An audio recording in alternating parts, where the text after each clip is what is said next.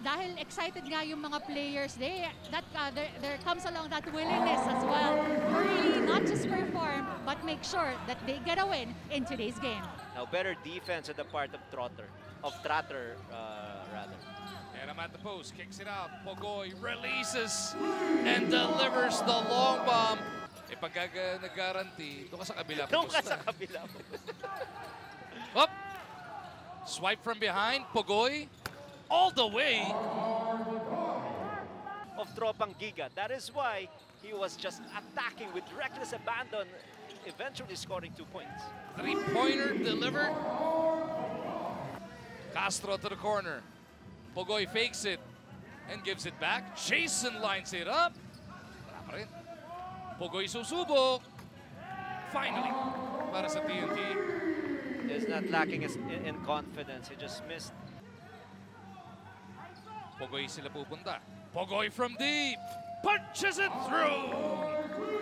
What a rally by TNT. 14 points, 4 out of 9 from the 3. And he is just fearless.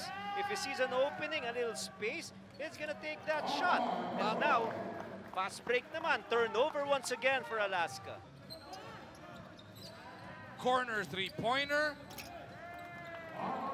RR Pogoy delivers once again. Herndon misses. Pogoy on the attack. RR Bogdanovic with the finger roll. Idol niya. Pogoy with the offensive rebound. Castro in traffic. Almost lost it. Picked up by De Leon. Pogoy flips it up off the window. RR Pogoy definitely has come out to play. That he can still play, but you always have to err towards the side of caution. Another three-pointer drilled here. Sabi mo, 80s pa lang, nagko-coach ka na pala.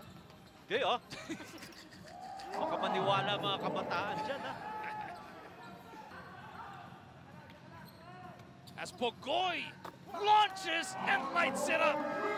That was a 28-footer, RG. And Pogoy na naman, gets by Herndon, sinalubong ni Trotter. Pogoy! Gets the basket, may kasama pang foul. after the last ball screen offense, they were not able to cut the corner as a result. There was an opening, o- uh, there was a, a slight opening on that penetrating angle for DG. More importantly, he gives Alaska a three-point lead. Pogoy fading away against the shot clock. 45 points para kay Pogoy. Player of the game, Roger Pogoy, career high 45 points, 10 out of 16 from the three-point line. Roger, may dramatic improvement kayo sa stats nyo, especially kung uh, i-compare natin yung first quarter up until the end of this game. Pa- points from inside the paint, from 4 naging 40, yung 3 points from 2 naging 13.